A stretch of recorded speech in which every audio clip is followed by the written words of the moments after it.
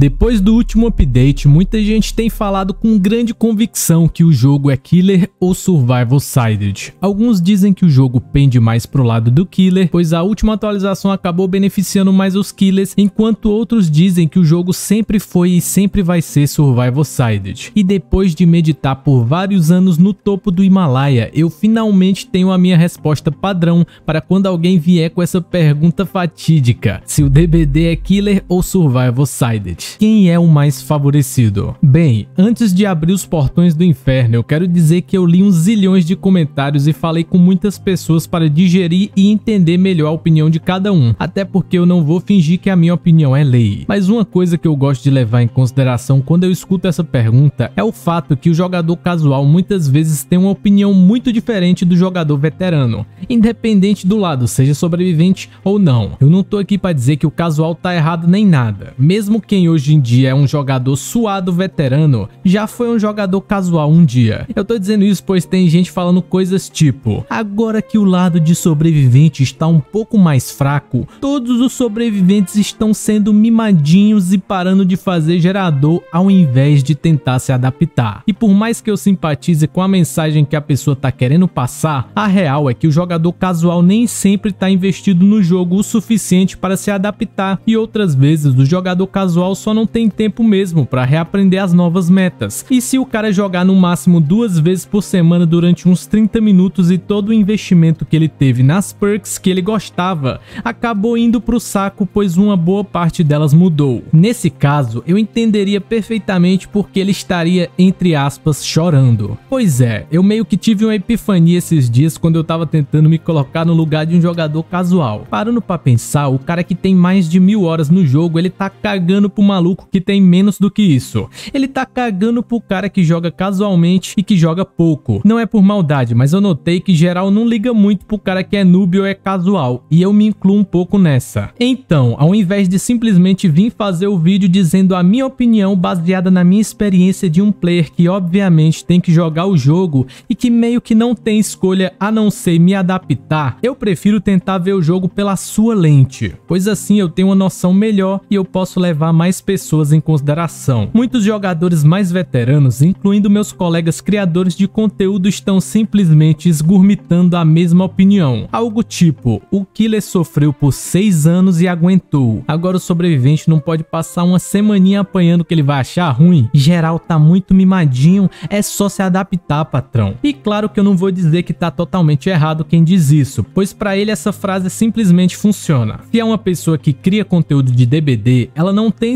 além de se adaptar. E mesmo quem não é criador de conteúdo e é veterano, meio que já gastou tanto tempo no DBD que mal consegue se colocar no lugar do maluco que não tem tantas horas assim de jogo. Então assim é fácil mandar o outro se adaptar. E sim, é verdade que os killers sofreram por muito tempo com SWF e perks fortes que estendiam chases e partidas muito além do necessário. Os killers não deveriam ter passado tanto tempo sendo obrigados a jogar contra uma meta que recompensava uma gameplay preguiçosa. Então eu entendo totalmente quem é mono ou main killer, que literalmente quer ver o sobrevivente main sofrer bastante para entender o quanto ele sofreu. Pois é, eu entendo esse pensamento e eu nem vou julgar quem tá nessa vibe. Cara, uma coisa que é interessante é que o maluco que é survival iniciante hoje, ele vai sofrer mais que o sobrevivente de ontem e se duvidar, eles vão virar jogadores bem mais eficientes que os sobreviventes que nós temos hoje. Eu não vou negar isso. Quanto menos muletas, melhor jogador. Mas eu não acho que todo mundo quer se esforçar tanto assim para jogar DBD. No fim das contas é um jogo casual, né pô? Enfim,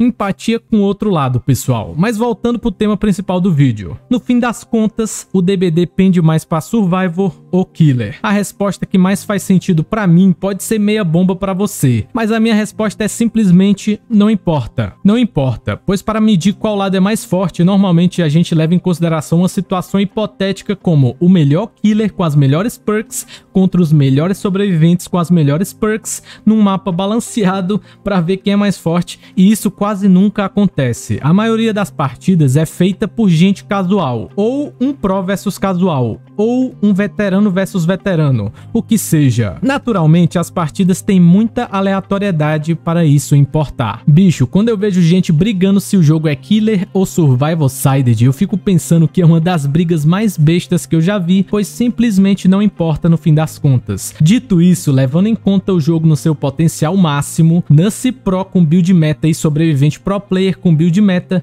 eu ainda acho que o jogo é um pouquinho survival sided. Porém, nem todo mundo joga de SWF Pro Player. Numa situação específica como Survival Solo, por exemplo, o jogo parece ser um pouquinho mais killer-sided e é aí que tá a beleza do DBD. O bagulho é mais aleatório que os rolês do Ronaldinho e tá tudo bem. O jogo pode continuar um pouquinho survival-sided, mas isso não vai importar se o seu SWF estiver cheio daqueles caras que só querem brincar. Aliás, antigamente era bem comum entrar em uma partida, brincar com a cara do killer, fazer os geradores e ainda escapar mas depois do update isso tem ficado mais e mais raro. E isso pode até apontar que o jogo antes era bem mais survival sided do que hoje em dia. Agora eu preciso dizer uma coisa para quem é survival main ou survival mono. E eu não tô querendo ser insensível, claro, pois eu sei que geral pode ser casualzão também, mas os killers, eles passaram muito tempo tendo que aguentar um jogo que era muito mais forte para sobrevivente. Eu sei que muitos não sabem disso, mas o DBD antigamente tinha tanto loop quebrado e palete quebrada que era insano. Ainda bem que quase ninguém sabia lupar naquela época, pois senão seria pior ainda. Depois disso, ainda veio o Hit Validation que fazia o DH ser quase um terceiro estado de vida. E esse Hit Validation às vezes fazia os bichinhos perderem a partida inteira lupando apenas um cara. Killer Mains passaram por muita coisa e os que ficaram até hoje são heróis e jogam muito bicho. Então eu digo que os survivals que derem uma chance à nova meta no futuro, eles não vão se arrepender. Ninguém é obrigado a nada, claro, mas os que tentarem apesar dos pesares áreas serão respeitados e terão orgulho no futuro. Eu boto fé, bichos. Eu sei que não é tão sério assim, velho, mas enfim, eu tenho certeza que você vai ter um orgulhinho, vai. No fim das contas, é tudo minha opinião. Deixa a sua nos comentários, pois o diálogo é muito importante, viu, boys and girls? Aliás, hoje a gente vai assistir a live da Behavior. Coisa nova tá vindo por aí. Compareça por lá, o link vai estar na descrição. Clica no vídeo que tá na sua tela, pois ele tá bala. E não esqueça nem da sua água e nem dos seus vegetais, pois eu vejo vocês no próximo vídeo vídeo.